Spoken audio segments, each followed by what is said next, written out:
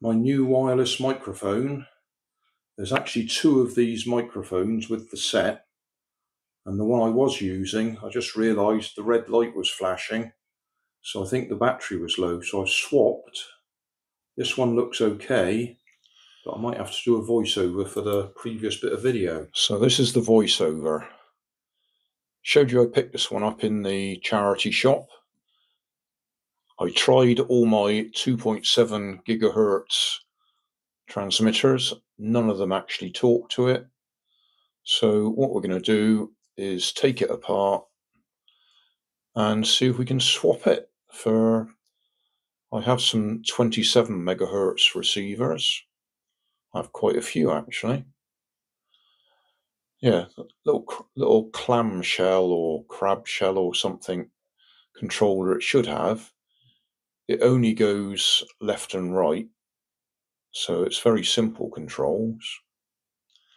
And I happen to have quite a few um, 27 megahertz receivers. The question will be, can we actually squeeze one inside? Here's one of the ones that I've got handy. I've wired it up so we can actually check it works. I've no idea what car it came from, but it's one that I've changed out. The writing on there actually says FB with an X, telling me that this is one I've taken out because the forwards and backwards doesn't work. It is a 27 megahertz one. So if I plug a battery into it, see the lights come on, happens to be a color changing LED. And if I use my 27 hertz, 27 megahertz transmitter, this one is connected to the left right control. And as you can see, it's bouncing around, so it works. Uh, being as we're doing a voiceover here, um, I can't tell you the finer details of what's going on. Suffice to say, that receiver will do all we need it to do. Uh, I think what I'm actually telling you is two of those transistors in there, which are the H bridge, are burnt out for the forwards backwards, but that doesn't matter because we only need left and right. So we will take it apart. It is virtually identical to the one I was working on a few weeks back. That was the one that was uh, autonomous, um, had motion, uh, had sensors on it, so it could tell when it's going to bump into something, and it'd reverse direction. So at least that means I know how to get in.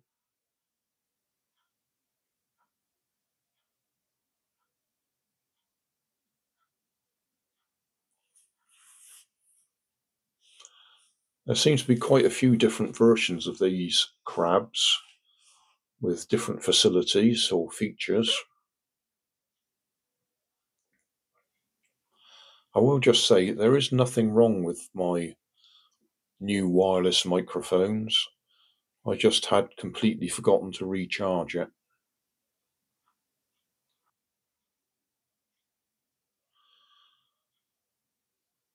I do have a playlist for my crab related videos, so that will be in the video description. So that's the motor on the right hand side, that black assembly there. And then that's our 2.4 gigahertz receiver, which is tiny compared to the one that I want to try and fit in there. But I do manage to squeeze that other one in eventually.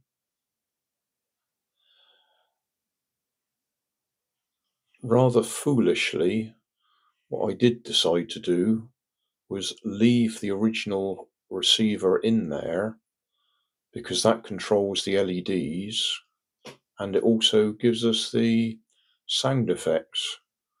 which is that uh, Baby Shark song. I regretted leaving it in there, I can tell you that. But that's what I do. I actually leave it in there so the um, LEDs work and the song or the music is played, and I just run the uh, power for the new receiver in parallel with the power for the old receiver and link up the motor to the new receiver.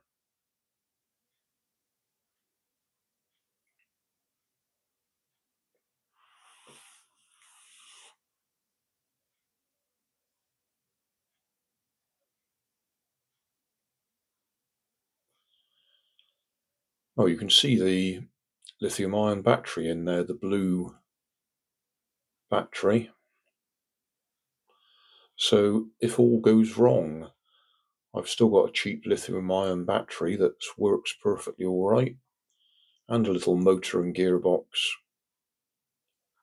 Yeah, luckily for you, you can't hear it singing the song at the moment.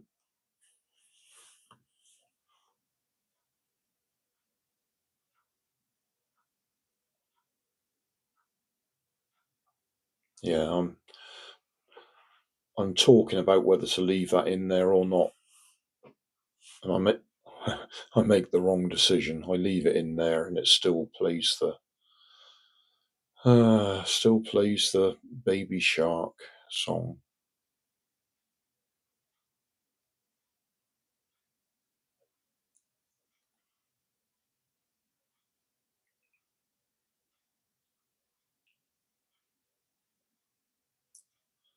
At first glance, you think there's plenty of room, but there isn't because you can see that shaped bit of orange plastic that takes up all the space. But there's just enough room on the left hand side as we're looking at it now. Here you are. I've actually squeezed it in just to demonstrate that it will go in there. That's where all those wires are hanging out from.